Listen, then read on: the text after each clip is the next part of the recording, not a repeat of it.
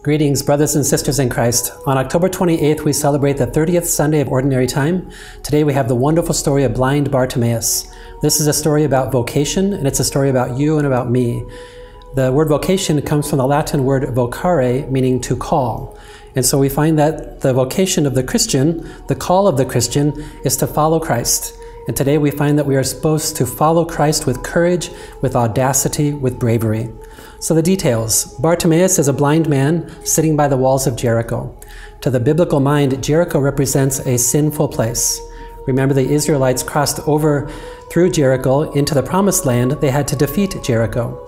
And they did that by blowing the trumpet, walking around the city with faith, and the walls came tumbling down. We find that faith is what conquers, not violence and war and injustice. So Jericho represents sin. Now you have a blind man, blind physically and blind spiritually.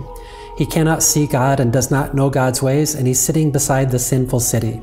And even worse than that, we see a little detail that Jesus walked by and he was walking on the way, and Bartimaeus is sitting beside the way.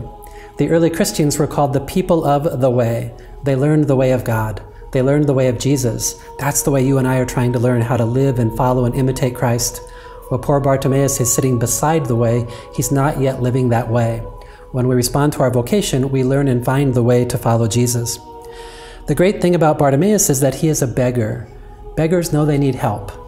One of the fears that I see in our culture and in our church is apathy, complacency. Many people are just satisfied with what they have and don't yearn for more. The deepest yearning we have is for more. It's an eternal yearning. So don't be apathetic. We are beggars. We know we need help. We know we call out to God. Jesus stops and he tells his disciples, Call him. This is the only time in Mark's gospel where Jesus stops, because normally he's running around from here to there. And this is the second time that we hear the word to call used in the gospel. First, Bartimaeus calls out, Lord Jesus, son of David, have mercy on me. And now Jesus stops and he tells his disciples, Call him. Jesus is more persistent in calling us than we are in calling out for his help. Jesus is persistent. He loves us and longs for us. He wants us to know our vocation. So the disciples told Bartimaeus, Jesus is calling you. Then they say, Get up. The Greek sense here is to be bold and be audacious, to be brave, to dream big. This is what happens when you know your vocation. You see, the vocation is we live according to God's way, not my way. God's dream, not my dream. And God's way and God's dream is always going to be bigger, more audacious, more beautiful, more bold, more life giving than you can ever imagine.